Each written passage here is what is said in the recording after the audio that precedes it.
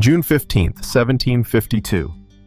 A storm rolled through Philadelphia, and legend says Benjamin Franklin stepped out into it holding a kite, not for fun, for science. Attached to that kite was a metal key. Rain fell, thunder cracked, and in that moment, so the story goes, Franklin drew electricity from the sky. It wasn't just an experiment, it was a breakthrough. The idea that lightning wasn't magic, it was energy. Franklin's test helped prove that electricity was a natural force, one that could be studied, understood, and eventually harnessed. No one's sure if it happened exactly like the story tells it, but the symbol stuck. The impact? Undeniable. It sparked generations of discovery and turned a stormy sky into a laboratory.